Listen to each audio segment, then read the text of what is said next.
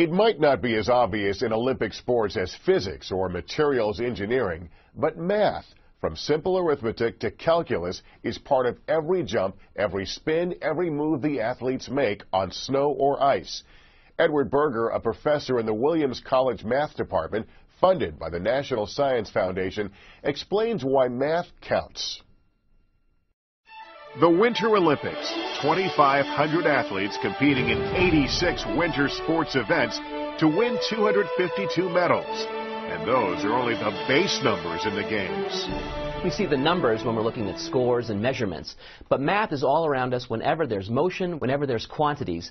Like number of hockey players on the ice, number of times the puck goes into the net, combine quantities, and that's where addition comes into play. Addition is only part of the arithmetic used to score figure skating. Each element is assigned points and judged on how well it's performed. Triple axel might be worth three points, a spin might be worth two points. Judges also rate the overall quality and artistry of the skater's program. There are nine judges, but the scores from only five will count. They throw out two of the judges' scores just by random.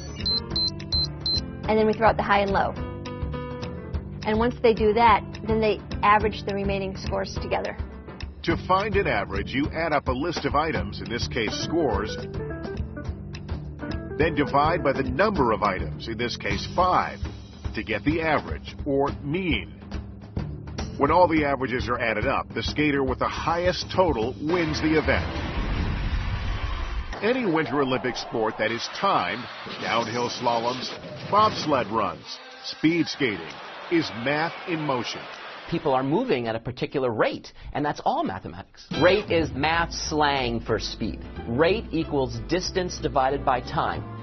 Divide the distance of a race, 1,000 meters, for example, by the time it takes a short track speed skater like five time Olympic medalist Apolo Ohno to skate that distance. Say 1 minute 24 seconds, or a total of 84 seconds, and you get the rate 11.9 meters per second. That's 42.8 kilometers per hour. Or for those not on the metric system, 26.7 miles per hour. All the skaters started the race at zero kilometers or miles per hour. How did Ohno win? Did he just skate faster than everybody else from the beginning? Asking who's going the fastest at the most fundamental level is really the question of calculus. Because calculus tries to understand not just velocities, but instantaneous velocities. Velocities at any one instant in time. One way to see that is a graph, here of two speed skaters in a 5,000 meter race. So here's the mathematical view of it. Consider time, which I'll think of as the horizontal axis, and then we could think of distance away from the starting position in the vertical. So we have distance and time. Someone starts off a little bit slower and then accelerates. How would that look? It would be a little bit less steep and then increase or you could imagine someone sprinting out of the starting block and then tiring out, and that would look something like this. Really, really steep at the beginning, but then slowing down. The steeper the curve, the faster the speed. Calculus shows which skater is going how fast at what particular point in time in the race. Here we can look at the entire race from the beginning to the end, and we can make judgment calls. For example, is it better to sprint at the beginning, or is it better to actually start off a little slow, let everyone else get really, really cocky, the competition, and then at the, at the end drive it up and win? And to be the first to cross the finish line.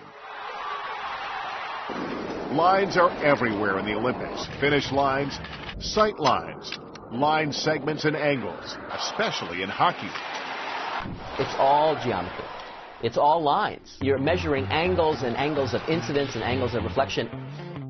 On defense, hockey players try to move attackers off to the side, reducing the angle of access to the net. That angle just gets lower and lower and lower. He has less and less and less net, so his chances of scoring should be going down.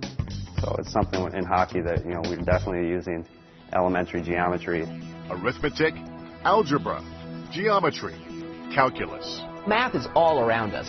Did you catch that? I hope you did.